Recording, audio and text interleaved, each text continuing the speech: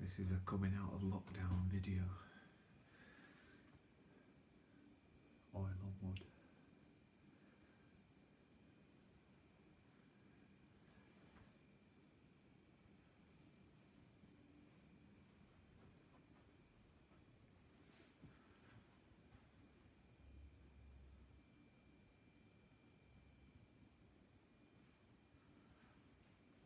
How people occupy themselves